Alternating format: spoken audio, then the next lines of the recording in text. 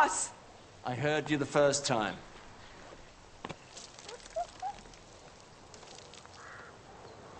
Quite the little climb, aren't you? How old are you, boy? Ten. Ten.